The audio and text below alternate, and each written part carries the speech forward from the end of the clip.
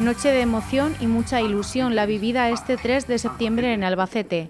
Los manchegos de la Feria 2024 ya han sido proclamados durante un acto que se ha celebrado en la Plaza del Altozano y que ha reunido a multitud de personas. El momento más especial llegaba al conocer el nombre de los manchegos de la feria, que en este caso han sido Lucía Cerro y Elías Cebrián, que no han podido disimular sus caras de ilusión al escuchar sus nombres.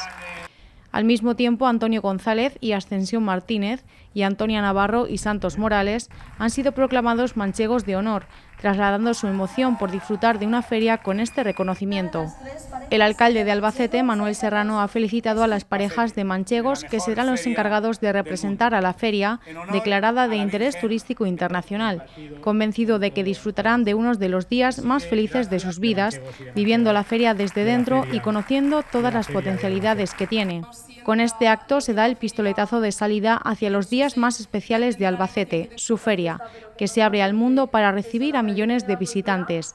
Los actos de preferia seguirán mañana con el pregón taurino a cargo de Juan Martínez Lorenzo y el viernes 6 de septiembre tendrá lugar el pregón de feria a cargo del neurólogo Tomás Segura.